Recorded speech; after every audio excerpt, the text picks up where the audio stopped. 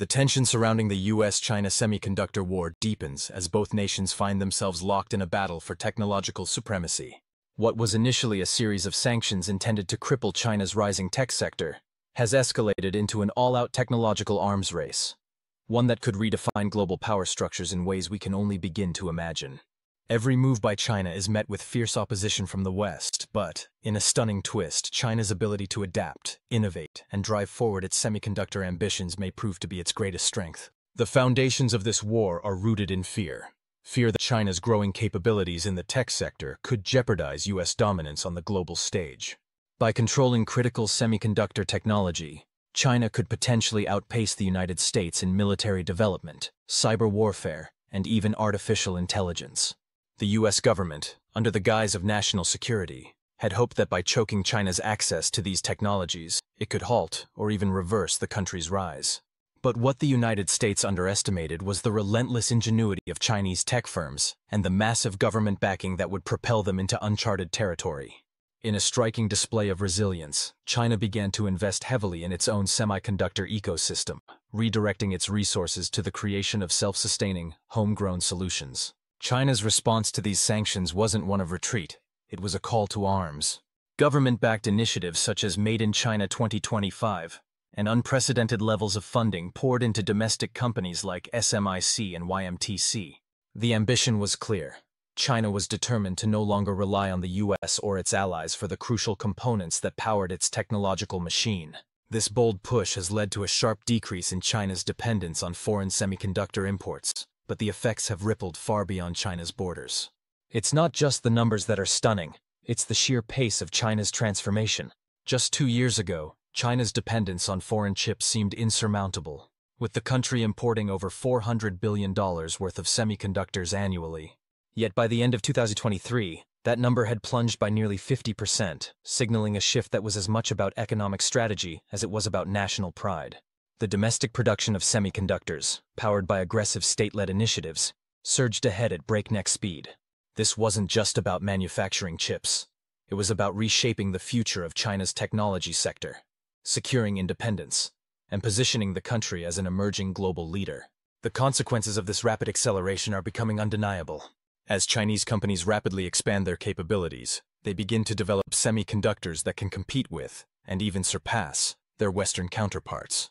SMIC's production of advanced 7-nanometer chips, long considered the realm of companies like Intel and TSMC, is a direct challenge to the established semiconductor order. But it doesn't stop there. Companies like YMTC are pushing the boundaries in memory technology, developing 232-layer NAND flash memory that is poised to revolutionize data storage and consumer electronics. As these innovations roll out, the West finds itself forced to confront an uncomfortable truth. China's technological resilience is not only surviving, it's thriving. The impact on the global market is already being felt. Intel, Texas Instruments, and other key players in the U.S. semiconductor industry have seen their revenues take a sharp dive as China increasingly relies on its own domestic suppliers. Intel's Q3 2023 earnings revealed a 27% drop in sales to China, and Texas Instruments reported a staggering $2.3 billion shortfall. For these companies, the loss of access to the Chinese market represents an existential threat. After all, China is the world's largest semiconductor consumer, responsible for a staggering 38% of global chip demand. As Chinese firms increase production and solidify their position in the global supply chain, U.S. companies are being squeezed out of an increasingly important market. But the economic ramifications don't end there. China's rise in semiconductor manufacturing has begun to shift the center of gravity in global production. By 2023, China's share of global semiconductor manufacturing had nearly doubled, from 15% to 30%. This rapid expansion, fueled by government subsidies and strategic international partnerships, directly challenges the hegemony of established semiconductor powerhouses like Taiwan's TSMC and South Korea's Samsung. The question now is whether the West will be able to adapt to this new reality, or whether it will find itself permanently sidelined in the battle for technological supremacy. The expansion of China's semiconductor capabilities is not limited to just the realm of manufacturing. Chinese-made chips have already begun to power critical infrastructure, everything from data centers to AI platforms and telecommunications networks. In fact, by 2023, reports revealed that more than 60% of China's cloud computing infrastructure was powered by domestically produced chips. This is not just a matter of economic strategy. It's a strategic move to secure China's technological independence. By using its own chips, China not only reduces its reliance on foreign suppliers, but also strengthens the resilience of its critical technological infrastructure. Meanwhile, the rest of the world is left grappling with the far-reaching implications of this shift. For the global consumer, this means more affordable electronics, as the cost of devices powered by domestic Chinese chips begins to stabilize. But for markets dependent on imports from China, these changes are likely to create a host of challenges, including potential shortages and price hikes. The rise of Chinese chipmakers is shifting not only production dynamics, but also the global narrative surrounding technological innovation. SMIC's ability to mass-produce 7-nanometer chips, despite U.S. export restrictions, is a striking testament to China's growing technological prowess. Similarly, YMTC's breakthrough in NAND flash memory is setting new standards for consumer electronics, with China now a global leader in high-capacity storage. In both cases, China is no longer merely catching up. It is leapfrogging ahead, setting new benchmarks that are forcing the global tech community to reconsider the established order. The question is no longer whether China will dominate the semiconductor market. It's now a question of when and how the global industry will respond to this new reality. As China's self-sufficiency in semiconductor production continues to evolve, the geopolitical ramifications are profound. The US and its allies face the prospect of losing their technological edge with China increasingly able to compete on equal footing, if not surpass, in critical areas like AI, defense technologies, and industrial automation. For the US, the question now is not just how to contain China's growth, but how to reclaim its own position as the global leader in semiconductor innovation. The US has responded by ramping up its own domestic initiatives, offering subsidies to semiconductor manufacturers, strengthening alliances with countries like South Korea, and encouraging private sector research and development. But the question remains, will these measures be enough to hold off China's relentless march towards self-sufficiency?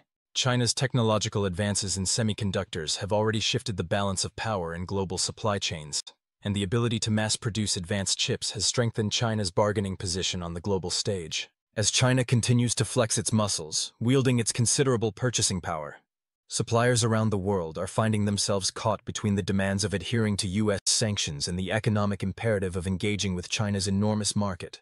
The situation has forced companies like ASML and Applied Materials, key players in the semiconductor supply chain, to walk a tightrope, attempting to comply with U.S. restrictions while maintaining profitable relationships with China. What happens when China's economic clout gives it the power to rewrite the very rules of global trade? China's advancements in memory technology, particularly in NAND flash memory, have positioned the country as a dominant force in data storage solutions, essential for industries driven by big data and AI.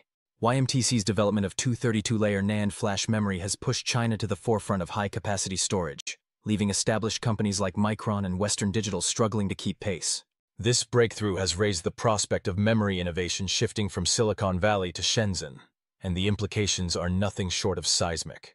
At the core of this semiconductor conflict lies a fundamental question. How will the global order shift as China secures its technological independence? By achieving self-sufficiency, China not only fortifies its position against future sanctions, but also gains leverage in diplomatic negotiations.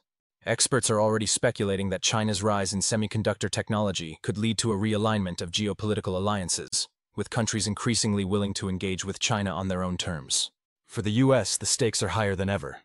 Can it retain its technological dominance, or will China's march towards self-reliance create an entirely new global order? The U.S.-China semiconductor conflict is a complex, multifaceted struggle, one that goes beyond economic competition and touches on broader issues of national security, technological power, and global influence. The unintended consequences of the sanctions, once seen as a tool to curb China's rise, have instead created an environment where both sides are forced to innovate faster, adapt quicker, and fight harder to maintain their standing in the global tech ecosystem. This is not just a battle for market share. It's a high-stakes geopolitical conflict that will shape the future of global power. As the world watches, one thing is certain. The semiconductor war is far from over. The question is, who will emerge victorious? And what will the future of global tech look like when the dust finally settles? The stakes are higher than ever, and the consequences are profound.